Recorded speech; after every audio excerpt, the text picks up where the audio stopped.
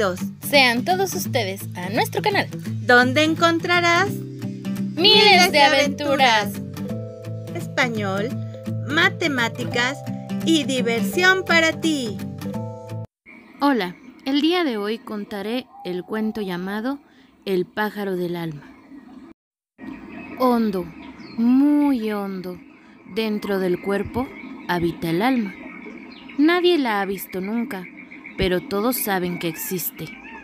Y no solo saben que existe, saben también lo que hay en su interior.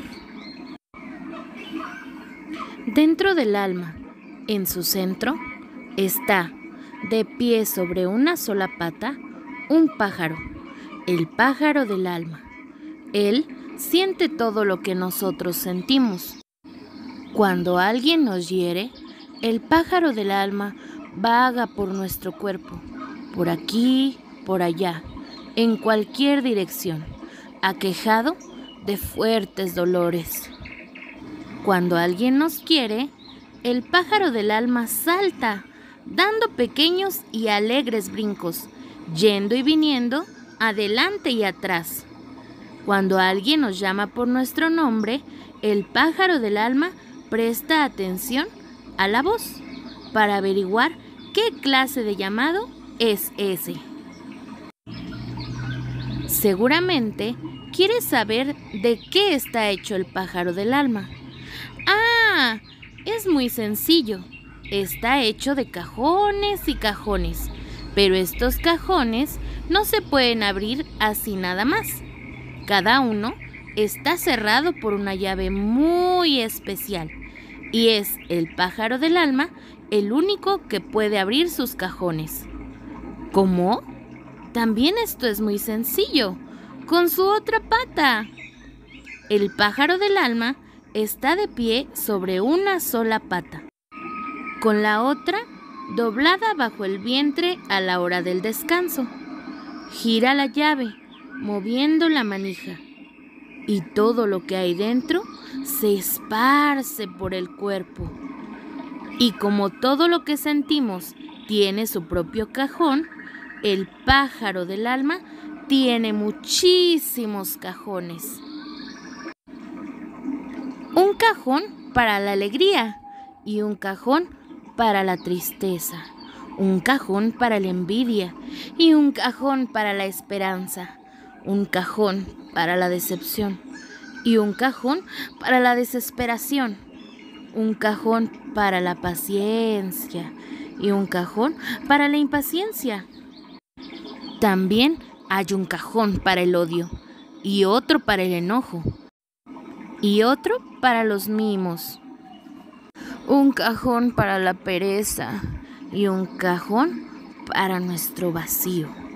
Un cajón para los secretos más ocultos este es un cajón que casi nunca abrimos.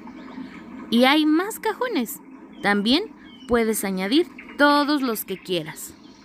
A veces el hombre puede elegir y señalar al pájaro qué llaves girar y qué cajones abrir. Y a veces el pájaro es quien decide.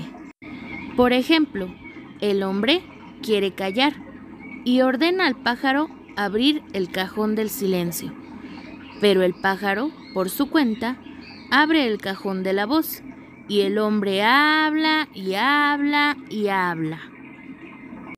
Otro ejemplo, el hombre desea escuchar tranquilamente, pero el pájaro abre, en cambio, el cajón de la impaciencia y el hombre se impacienta. Y sucede que el hombre sin desearlo siente celos.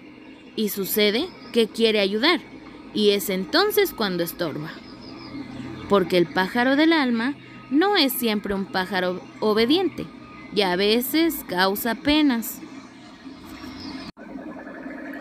De todo esto, podemos entender que cada hombre es diferente por el pájaro del alma que lleva dentro. Un pájaro abre cada mañana el cajón de la alegría. La alegría se desparrama por el cuerpo y el hombre está dichoso. Otro pájaro abre, en cambio, el cajón del enojo. El enojo se derrama y se apodera de todo su ser. Y mientras el hombre no cierra el cajón, el hombre continúa enojado.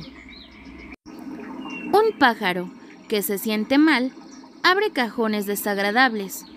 Un pájaro que se siente bien elige cajones agradables. Y lo que es más importante, hay que escuchar atentamente al pájaro. ¿Por qué sucede que el pájaro del alma nos llama y nosotros no lo oímos? ¡Qué lástima! Él quiere hablarnos de nosotros mismos, quiere platicarnos de los sentimientos que encierra en sus cajones. Hay quien lo escucha a menudo, hay quien rara vez lo escucha y quien solo lo escucha una vez. Por eso es conveniente ya tarde, en la noche, cuando todo está en silencio, escuchar al pájaro del alma que habita en nuestro interior, hondo, muy hondo, dentro del cuerpo. Y colorín colorado, este bello cuento ha terminado. Nos vemos pronto y recuerda escuchar al pájaro del alma.